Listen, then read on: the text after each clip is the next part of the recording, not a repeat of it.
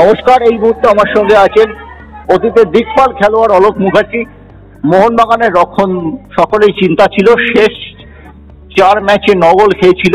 সেখান থেকে এরকম একটি আন্তর্জাতিক ম্যাচে ক্লিন শিট পেল, যদিও হোম ম্যাচটা জিততে পারল না, কিন্তু এশিয়ান চ্যাম্পিয়ন্স লিগে অভিষেক লগ্নে মোহনবাগান হারলো না। অপরাজিত থাকল, সেটাও একটা ফ্যাক্টর পুরো ম্যাচটা নিয়ে তুমি কি বলবে অলকদা? অ্যাকচুয়ালি তোমাকে বলছি এই টিমে মোহনবাগান টিমের প্লেয়ারদের এত স্টার প্লেয়ার হয়ে গেছে না সবচেয়ে বড় জিনিস যেটা আমার খেলোয়াড়ি জীবনের অভিজ্ঞতা দিয়ে বলছি যে কেউ বুঝতেই পারছে না যে আমি আজকে খেলব কি খেলব যেমন বিশ্বাস তোমার সাথে মাঠের বাইরে রেখে দিয়েছি হ্যাঁ হ্যাঁ। হ্যাঁ। হ্যাঁ নিশ্চয় ওরা তো মাঠের বাইরে যায় না। সবচেয়ে বড় জিনিস কোনো প্লেয়ার নয় কারণ আমি আমি জানি আমি খেলছি। আর আমি সেইভাবে মানসিক দিক তৈরি হয়ে আসছি।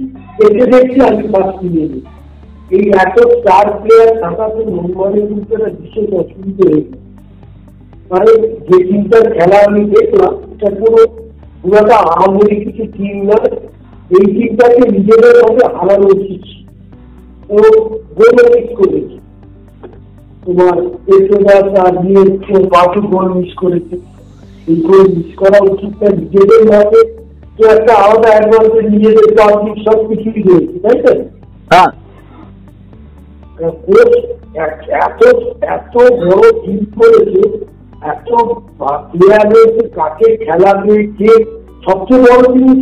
আজকে ধরো আমরা খেলোয়াড়ি জীবনে দিকে বলছি যে আমি যদি আমি খেলব আমি মানসিক দিক দিয়ে তো এবার কেউ বুঝতে পারছে না ছজন প্লেয়ার যে আমি আজকে খেলব না। তারা হয়তো ওই টিমের আজকে দেখি খাপা খেলছে তারা দেখি আর একজন খেলছি এইভাবে টিম স্থাপন করলে হবে এক দুজন চেঞ্জ করা যায় একসঙ্গে তিন চারজন প্লেয়ারকে চেঞ্জ করলে সেই প্লেয়ার এই ব্যবস্থা হবে যার জন্য জিততে পারবে না আমি কিছু কঠিন খেলা উচিত।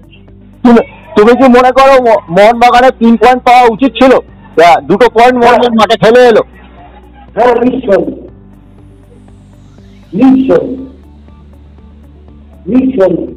আজকের ম্যাচটা যেটা উচিত ছিল যা গোল মিস করেছে এই গোল মিস করে এই এই এরকম লেভেলের খেলা এরকম গোল মিস করে নিশ্চয় আছে। কারণ ওরা সেরকম করতে পারে হ্যাঁ। ওরা এই আর ওদের অত ভালো ছিল না মোহনবাগানের তবে আমি তোমাকে বলছি আমি বা পেটেরাল আরও ভালো ফুটবল খেলতে হবে। আরও ভালো এই এই এত পর্যায়ে এই টিম আরও ভালো স্ট্রাইকিং গেম আরও স্ট্রাইক করতে হবে। আর আমি বলব এই বাইরে বেশি অনেক ধন্যবাদ অলকদা